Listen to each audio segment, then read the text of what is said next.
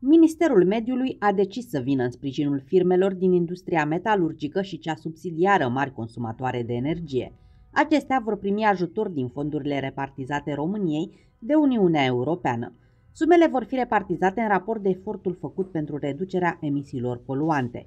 Printre societățile care vor fi ajutate se numără și al Roslatina, în contul căreia vor intra circa 40 de milioane de euro. Anunțul a fost făcut ieri la Slatina de ministrul Costel Alexe în cadrul unei conferințe de presă. Acest ajutor sprijină dezvoltarea, evident, și industrială și economică a României. Iar noi avem de câștigat ca stat român pentru că banii se întorc tot la, la noi și, evident, banii pe care, acești 40 de milioane pe care i-a valorat domnul Dobra, sunt convins că se vor regăsi în retehnologizare, în condiții de, de viață și salariale mai bune. Alrul reprezintă un exemplu de bune practici în ceea ce privește eforturile pentru un mediu cât mai curat, fiind printre primele trei firme de profil din Europa raportat la nivelul redus de poluare.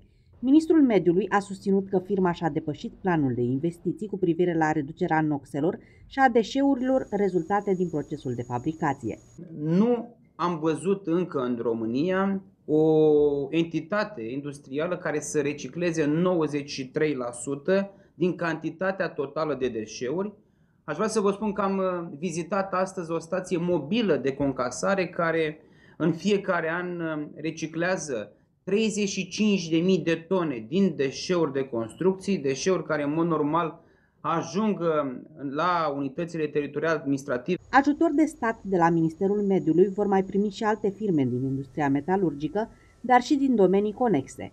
Criteriile de acordare a sprijinului vizează eforturile făcute de acestea pentru a deveni prietenoase cu mediul, reducând poluarea.